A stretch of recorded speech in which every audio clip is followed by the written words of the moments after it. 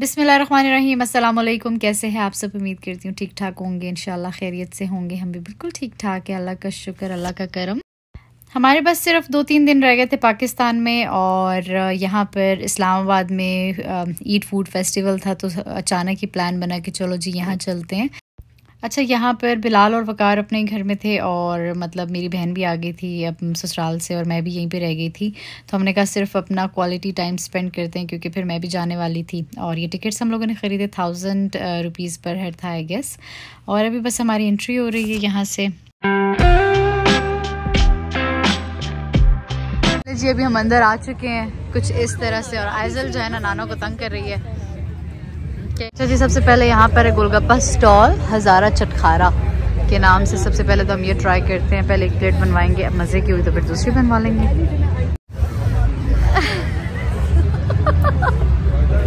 कौन सा लोगी? जब 16 आएगा तो 16 तो क्या मतलब तुम ये चेंज नहीं करवा रही अब ज़रा हम लोग फ्राई फ्राई मराई कर रहे हैं फ्राइड डम्पलिंग्स गिनियाकी का है। एम आई स्पीकिंग राइट मैं वही सोच रही हूँ कि क्या रहे मोती वाला फ़ूड यहाँ पे कोई बिरयानी टाइप चीज़ें लग रही है मेरे को। अभी हम लोग मुस्तफ़ा के लिए वापस ले रहे हैं क्योंकि उससे तो मीठी चीज़ ही पसंद होती हैं तो हमने कहा हम लोग तो सब कुछ खा लेंगे लेकिन मुस्तफ़ा के लिए भी कुछ लेना है।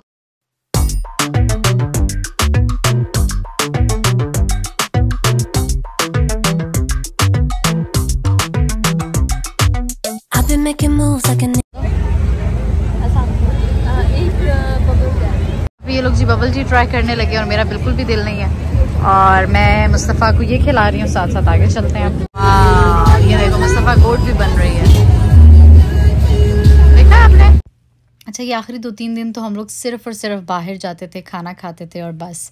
मतलब हमारा यही काम था, क्योंकि मुझे लग रहा था कि बस अब मैं वापस जाने लगी हूँ और ये मज़े मेरे ख़त्म होने वाले हैं, चटखारेदार मज़े मज़े के खाने। फिर मुझे मिलने नहीं है। तो बस, बहन भी मेरी कह रही थी, चलो बस बाहर ही चलते हैं, जिसकी शादी हुई थी अभी।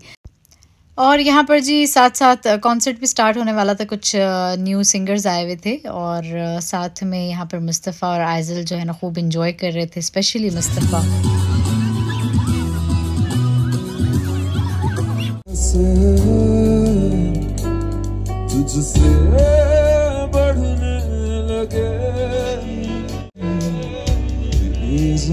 जैसे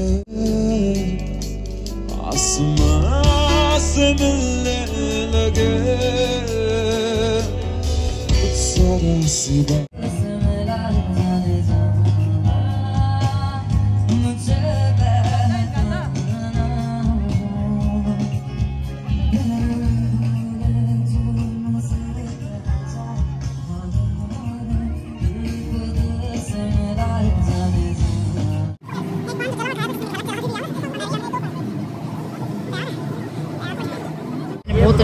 पान खा रही हूँ जब से पाकिस्तान आई हूँ पान नहीं खाया। और कब से दिल था पान खाने का?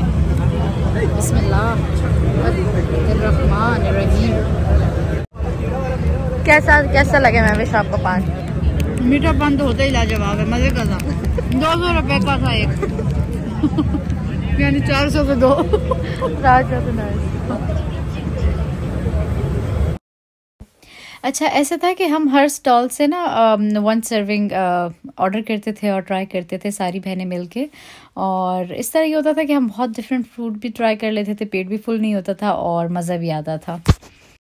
खैर, इसके बाद बहुत ज़्यादा वीडियोस मैं नहीं बना सकी थी, क्योंकि इसके बाद तो खैर हम लोगों ने प्रॉपर डिनर भी किया था। अम्मी पापा भी साथ में ही थे और बच्चे भी थे, उसकी वीडियोस पता नहीं मैं क्यों नहीं बना सकी।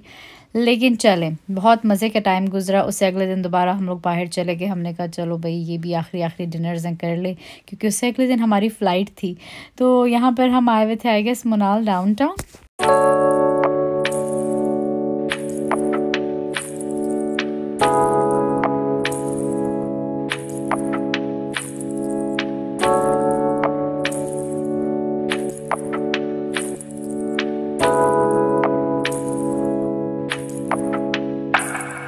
यहाँ पर जी बस पैकिंग हो गई थी। एक रात पहले से हम पैकिंग कर रहे थे और बहुत मुश्किल थी पैकिंग करना। समझ नहीं आ रही थी कि कैसे करें। और यहाँ पर मुस्तफ़ा को लग रहा है कि हम दुबई जा रहे हैं क्योंकि उसको अमेरिका बिल्कुल भी नहीं जाना था।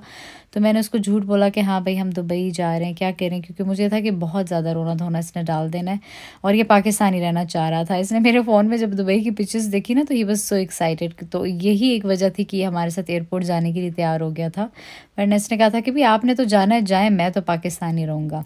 खैर, यहाँ पर हमारे बैग्स भी रेडी हो गए थे, जिनको बहुत मुश्किल से भाई हम लोगों ने जो है ना सॉर्ट आउट किया था। यकीन करिए ट्वेंटी थ्री के जीज़ अलाउ होता है, लेकिन बैग्स तो हमें बहुत अलाउ थे। ज़ाहिर है, मेरा टिकट बिलाल मुस्तफ़ा का, हम तीन बंदों का और आयजल का भी एक अलाउ था।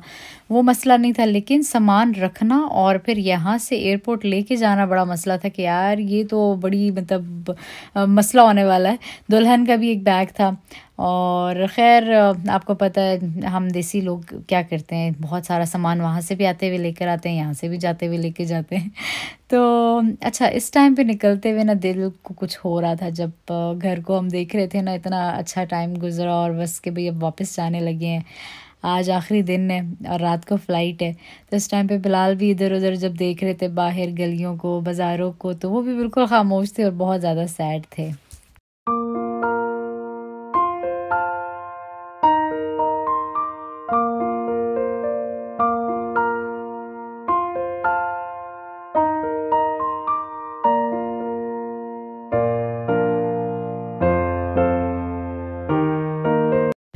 यहाँ पर जी हम लोग रास्ते में थोड़ी देर के लिए रुके थे कि चलो कुछ चाय वगैरह पी लेते हैं और बस मुस्तफ़ा भी कुछ खा पी रहा है और साथ में चाय चल रही है पकोड़ों के साथ।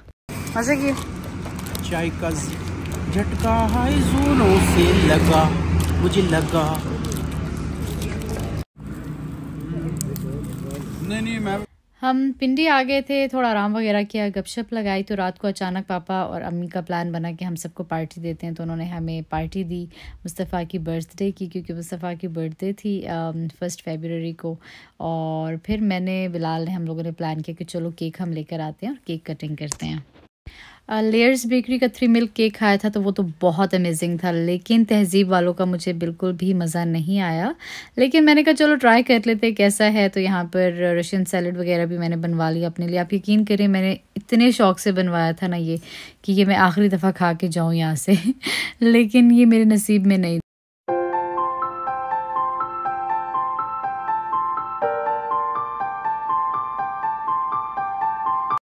और यहाँ पर जी अब फिर से मुस्तफ़ा की बर्थडे सेलिब्रेट करने वाले हैं हम दोबारा से। हमने कहा, चलो, मुस्तफ़ा इज़ लकी माशाल्लाह ये इसकी दूसरी दफ़ा है कि पाकिस्तान में बर्थडे हो रही है।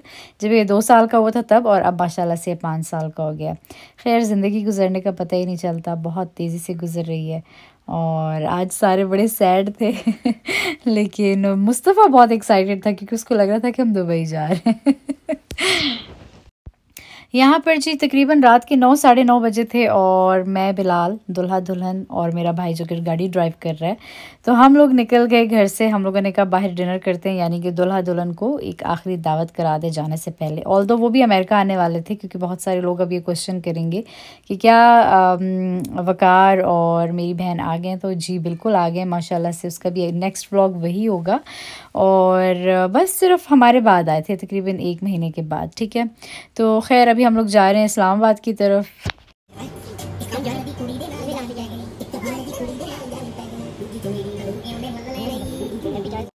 आई थिंक वकार ने टी बोन स्टेक ऑर्डर किया था। मैंने बीफ स्टेक नॉर्मल और बिलाल ने आई थिंक बीफ बर्गर बाकी दोनों का मुझे याद नहीं है कि उनका क्या ऑर्डर था। खैर, बहुत मज़े का फ़ूड था और एक तो हम बाहर बैठे हुए थे तो इतनी ठंड लग रही थी, ठंड में फिर गर्मा गर्म जब ये खाया ना तो मज़ा आ गया। और फिर उस दिन हम लोगों ने बहुत इन्जॉय किया, माशाल्लाह, काफ़ी गप्पे लगाई हम लोगों ने। और फिर घर आके हम सो गए, क्योंकि हमारे पास आई थिंक सिर्फ़ एक या दो घंटे थे। दो घंटे भी शायद मैं ज़्यादा बोल रही हूँ, क्योंकि उसके बाद हम लोगों ने निकलना था एयरपोर्ट की तरफ़।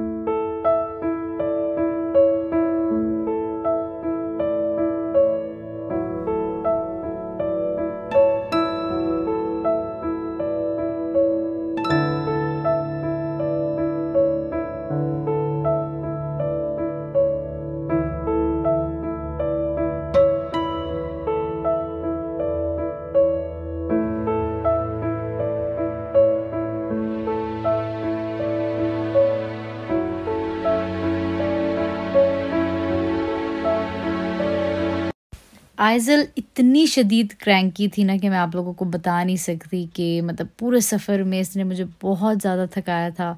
स्ट्रोलर पे ये लड़की नहीं बैठी, इसको मैं उठा के चलती रही हूँ। ये भी हम टर्की एयरपोर्ट पहुँच गए थे और इसमें भी आपको पता है बहुत चलना पड़ता है और ऑल द टाइम ना ये बिलाल के पास जा रही थी, बस इसको था कि मुझे उठाई रखें। तो मेरी तो बैंड बजी हुई थी, इसीलिए मैंने बिल्कुल व्लॉगिंग नहीं की थी, बहुत कम व्लॉगिंग की थी, जैसे प्रॉपर होता है ना ट्रैवल ब्लॉग बनाना, वो वाला सीन नहीं था।